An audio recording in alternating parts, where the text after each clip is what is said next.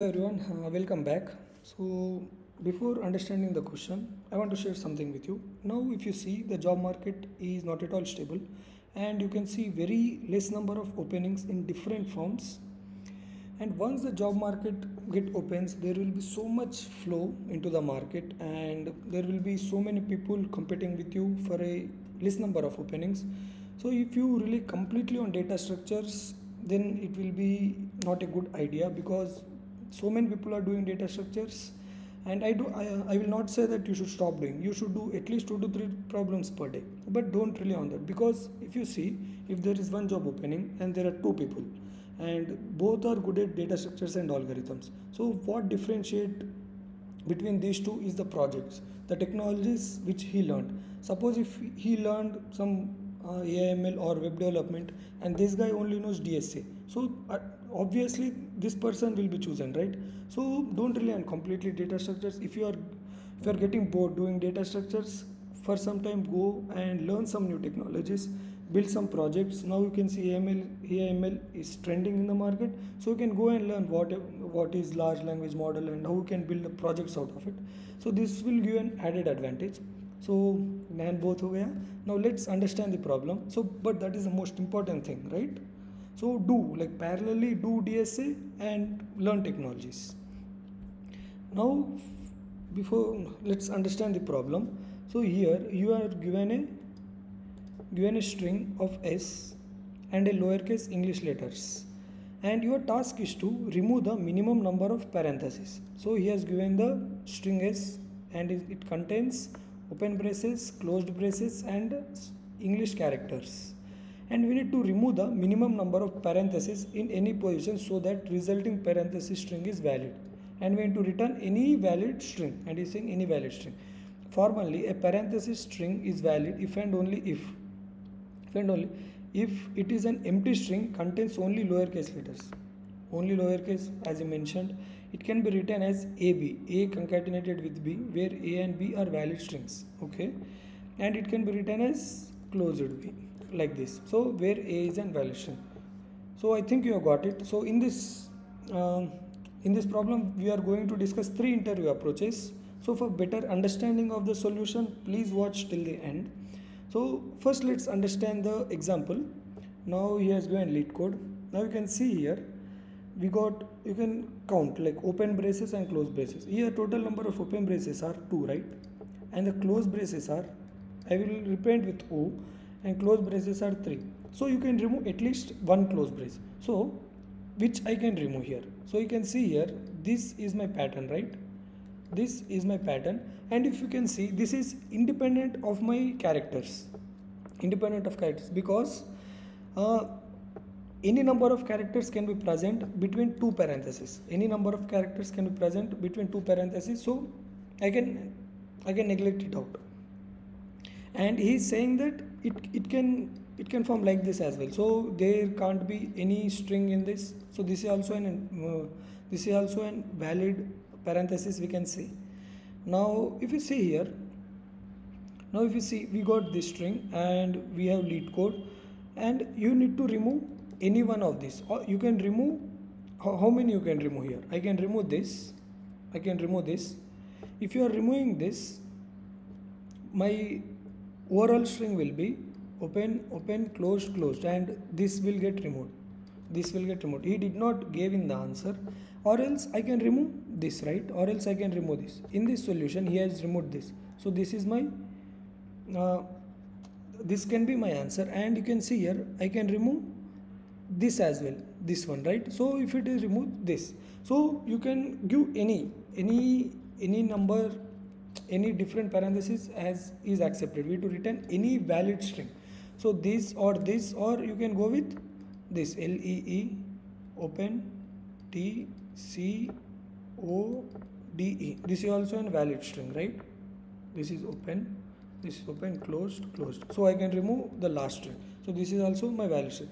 Whenever you see parenthesis in the question and he is saying that you want the valid parenthesis thumb rule guys. Like you need to think about stack whenever you get valid parenthesis any question related to parenthesis first think about stack and let's think like how you can implement the stack.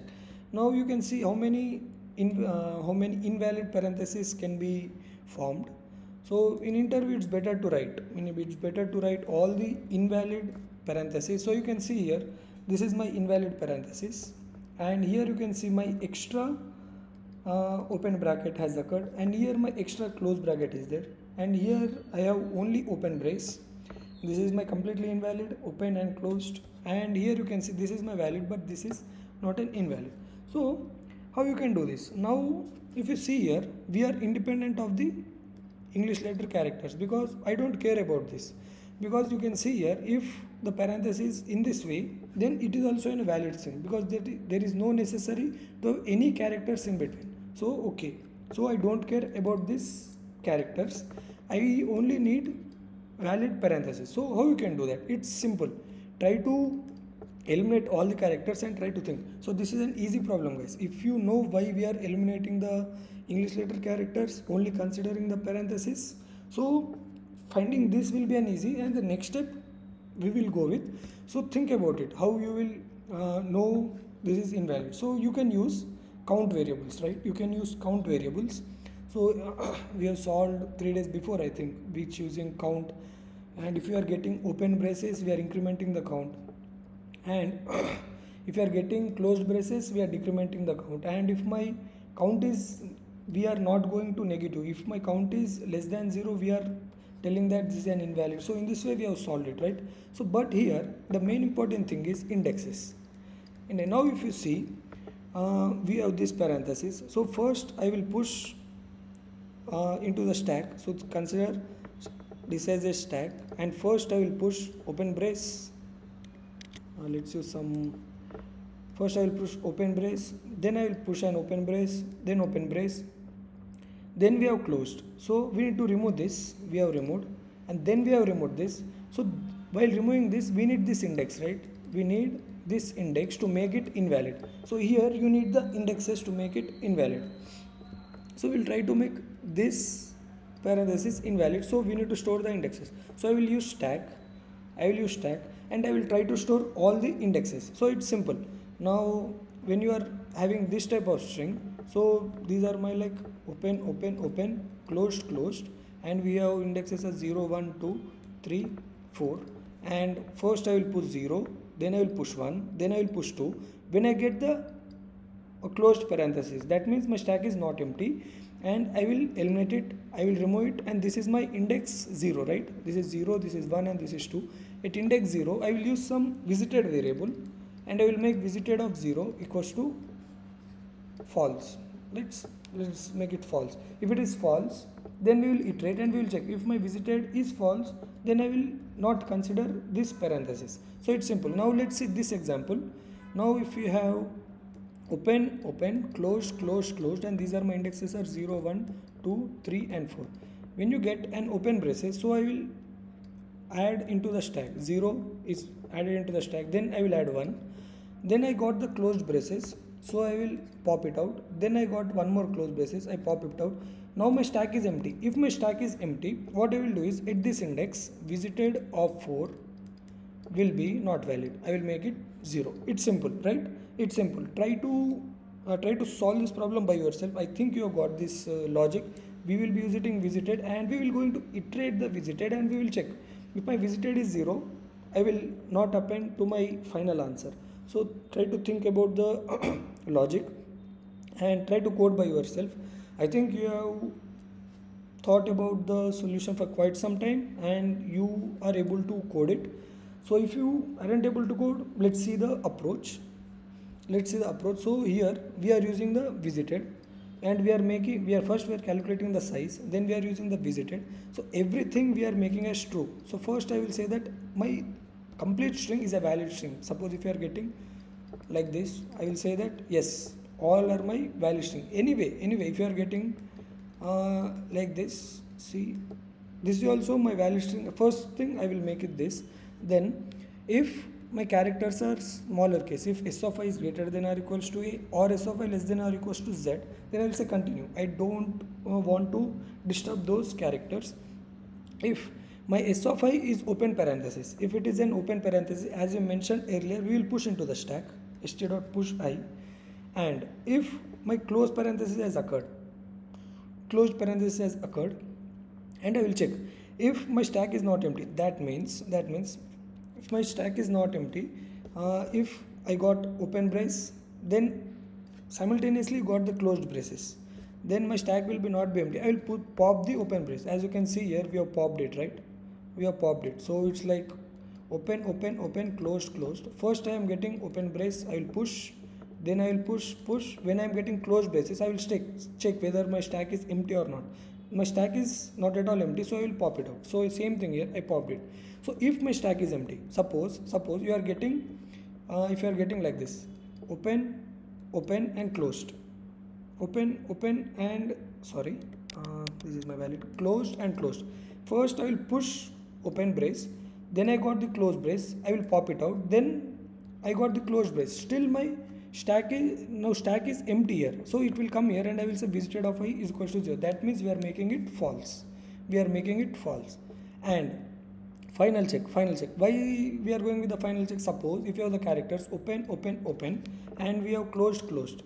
First I will push open open open. Then I will pop it out two characters then my extra character is remaining right for those all extra characters I will make it visited of st.top 0 and I will pop it out Finally, this is my answer and if my visited of i is equals to 1 then I will push back all the s of i's.